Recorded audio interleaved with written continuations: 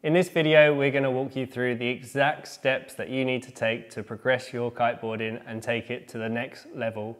We've put together our combined knowledge, each of our 20 years of kiteboarding into a complete package that will really give you a step-by-step -step guide and make your progression easier, make you feel more confident on the water. And now we're going to show you the exact blueprint of what that looks like. In the last three videos, we already talked how identifying and breaking through your fears can really help you progress to the next level.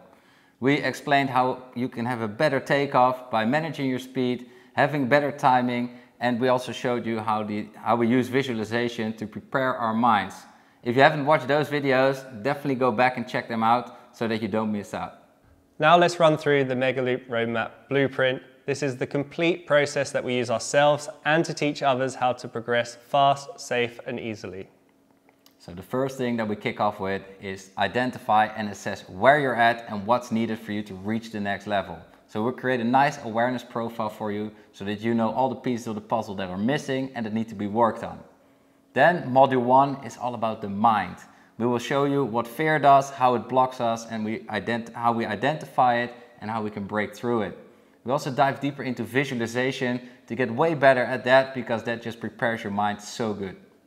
Then we go into the body and this is a tool we use to pull all these sick tricks. So we want to make sure it's in great condition and by that we'll go through preventing injury, nutrition, workouts, breathing, stretching, all those bits you need to really be in tip-top form ready to progress.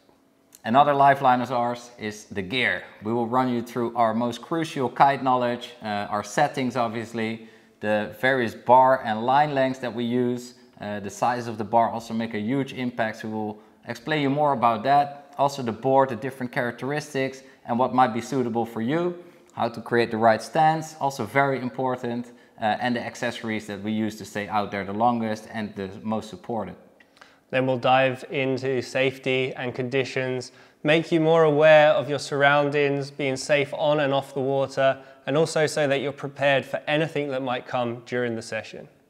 Then we will dive deeper into board control.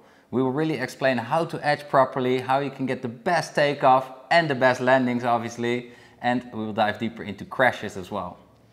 Then we have the kite control, obviously another key part of what we're trying to do here really getting the right takeoffs, getting the right positioning of the kite, uh, controlling your airspeed, and so you can come in soft, safe, and easily, but still pull that perfect trick. Then, once everything is in place, we go to module 7, which is progression. We will start explaining you how we deal with rotations.